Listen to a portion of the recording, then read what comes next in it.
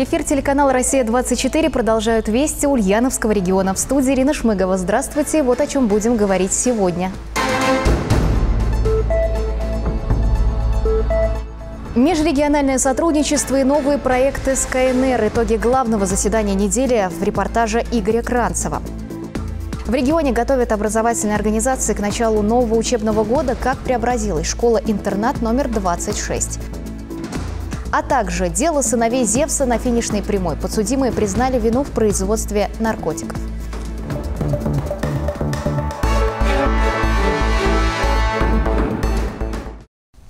Итак, сотрудничество с Нижегородской областью и КНР, начало работы летних загородных лагерей к приему детей и нацпроект «Жилье и городская среда». Таковы основные пункты повестки сегодняшнего заседания по комплексному развитию региона. Игорь Кранцев подробнее. Глава области в эти дни находится в рабочей поездке в столице, а потому вышел на связь в режиме видеоконференции. Первые слова о работе в Москве, в частности, о привлечении средств в областной бюджет. Региональная казна пополнилась еще на 1 миллиард 700 миллионов рублей. Данные средства будут направлены на модернизацию коммунальной инфраструктуры 234 миллиона 800 тысяч рублей, на сферу ЖКХ 507 миллионов. К слову, эта неделя проходит под знаком нацпроекта «Жилье и городская среда». И профильное ведомство заявило о планах по реконструкции 86 дворов многоквартирных домов. Но количество адресов, где будет произведено благоустройство, может увеличиться. На прошлой неделе мы одобрили еще пять заявок, и э, до 1 июня будут направлены на участие в конкурсе э, наши города, малые города, для того, чтобы благоустроить дополнительно дополнительно к той программе, которая действует на территории области, еще э, пространство в пяти муниципальных образованиях. Внимание также итогам визита руководства региона в Нижний Новгород. В частности, достигнута договоренность с руководством группы компании «ГАЗ» об индексации зарплат работникам Ульяновского моторного завода, который входит в состав компании. Уже в ближайшее время мы совместно с группой «ГАЗ» приступим к продвижению проектов развития этой важной для Ульяновска и индустриальной площадки. Помимо этого, совместно с правительством Нижегородской области мы наметили ряд важных проектов в развитии внутреннего туризма – а вот с китайской стороной на российско-китайском форуме удалось достигнуть договоренностей о возможном появлении в регионе нового крупного производства. Доклад, кстати, тоже прозвучал посредством удаленной связи. И не из Москвы, а из Ижевска. Это сборочное производство малотоннажных грузовиков общей грузоподъемностью 6, 7,5, 9 и 12 тонн. Все необходимые договоренности предварительные достигнуты. Если проект «Дело будущего», то летние каникулы уже фактически наступили. В пяти-лагерях стартовала первая смена. Основное э, внимание уделено безопасности пребывания детей на территории детских оздоровительных лагерей.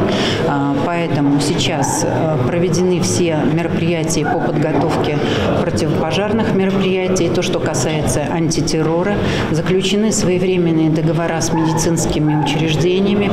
Глава области отметил, что безопасность детей на каникулах – общая задача. Необходимо сделать так, чтобы лето принесло юным ульяновцам только положительные эмоции, отметил Алексей Русских. И о происшествиях. Сегодня ранним утром на железнодорожной станции Ульяновск-2 две цистерны с газовым конденсатом сошли с рельсов. Одна из них перевернулась. Причины произошедшего устанавливаются. Известно, что в результате ЧП никто не пострадал. Разлива груза и угрозы экологии нет. Все находится под контролем. Движение поездов не прерывалось, работает в штатном режиме. На сегодняшний момент производится восстановительная работа восстановительным поездом Ульяновск-Центральный. Э, как бы работа по плану. Центральным межрегиональным следственным управлением на транспорте Следственного комитета России уже организовано проведение доследственной проверки по факту нарушения правил безопасности движения и эксплуатации железнодорожного транспорта, повлекшее причинение крупного ущерба. Масштабный ремонт к началу учебного года и планы по продолжению обновления на предстоящие каникулы в канун лета в Ульяновской школе-интернате номер 26 рассказали об изменениях, которые уже произошли в учебном заведении, а также поделились планами на будущее. Здание, в котором располагается школа-интернат номер 26, выделяется среди частных домов на севере Ульяновска. И сейчас оно выглядит почти как в 67-м, когда было построено. Благодаря федеральной программе к новому учебному году здесь провели в порядок и отмостку, и фасад, и кровлю, и внутренние помещения. Сладкий отвечает на вопрос, какой обозначает туризмных предметов. Обновили и учебный инвентарь. Галина Поспелова работает здесь уже четыре десятка лет. И эти обновления превзошли все ожидания. Одна виртуальная доска чего стоит. Подрастающее поколение техническую новинку освоило быстро. Мы не мечтали, что у каждого ребенка появился наконец свой шкафчик, удобные парты. И, конечно, нашему счастью не было предела, когда появилась интерактивная доска. Потому что востребованность в визуальной информации очень большая у детей. Родители еще год назад с радостью поддержали ремонт. Школа действительно устарела, но результаты превзошли ожидания. Дети, классы и коридоры тоже узнали не сразу, но переменам обрадовались. Они говорят, что им стало а, комфортнее в школе, то есть э, более приятно стало находиться в школе, а, интереснее стало находиться в школе и захотелось больше проводить времени в школе. При этом в школе-интернате продолжат обновление и нынешним летом. Речь идет и о новом оборудовании. Мы снова в новом проекте. Это нацпроект образования, а, доброшкола. Мы ремонтируем четыре кабинета специализированных. Это кабинет учителя-логопеда, химии, биологии, технологии и физики. Также у нас будет а, кабинет дополнительного образования, робототехника. Капремонт также прошел в учебных заведениях Сурского, Радищевского, Корсунского, Меликесского районов. Дело сыновей Зевса близится к завершению. В Ульяновском областном суде прошли прения о громкой истории по созданию нарколаборатории в Старомайнском районе. Сторона обвинения изложила суть дела и запросила наказание для подсудимых. Так, в ноябре 2021 года силовики Татарстана в лесополосе обнаружили солидный тайник наркотиков – почти 10 килограммов мифедрона. В ходе расследования выяснилось, двое братьев, жителей Казани, в частном доме в селе Базарно-Мордовский Юрткуль Старомайнского района организовали нарколабораторию. Для реализации конфискации наркотиков привлекли еще одного подельника. Группировка действовала по указанию неизвестного лица, скрытого под псевдонимом «Сын Зевса», который руководил действиями наркобаронов и снабжал их реагентами для производства мифедрона. Расплачивались с ними э, с помощью биткоинов. При этом ни Зарев, ни Сиродеев не, знали так называемого сына Зевса. То есть э, все было э, конфиденциально. Использовался мессенджер, где пропадали сообщения после того, как была э, переписка. Дом оборудовали вытяжкой для отвода запаха химреагентов. О ходе производства сыну Зевса отчитывались фотографиями. Итоговый продукт сбывали в Татарстане, Чувашии и Ульяновской области. В феврале прошлого года злоумышленников задержали. При обыске лаборатории было изъято более 75 килограммов мифедрона. Стороной обвинения сегодня были проведены прения сторон, и э, мной был запрошены сроки подсудимым за совершенные ими особо тяжкие преступления от 18 до 20 э, с половиной лет лишения свободы со штрафом до миллиона рублей с отбыванием в исправительной колонии строгого режима.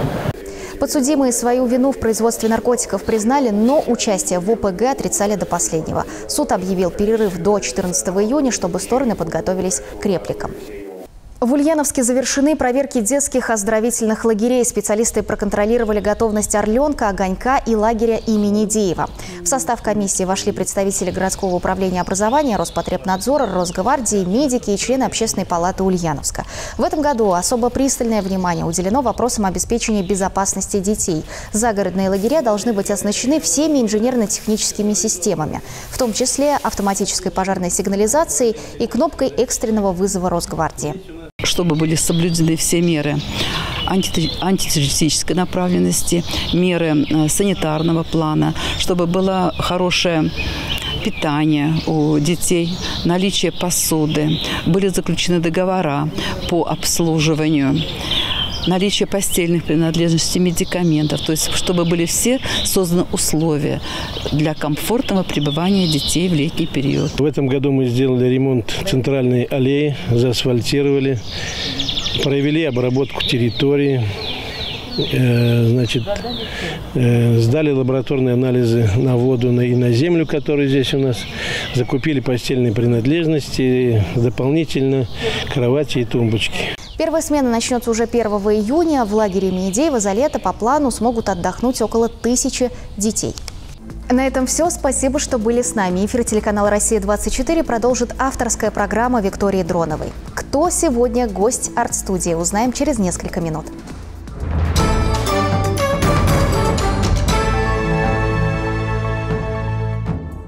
В ближайшие сутки атмосферное давление будет падать. Ожидается облачная погода, кратковременный дождь, локально грозы, ливни. В отдельных районах возможна гроза. Ветер восточный с переходом на юго-западный умеренный, при грозе порывистый. Температура воздуха ночью по области от 13 до 18 градусов тепла. В Ульяновске плюс 14, плюс 16. Завтра днем по области от 22 до 27 градусов со знаком плюс. В Ульяновске плюс 24, плюс 26. В лесах области области сохраняется высокая пожарная опасность четвертого класса.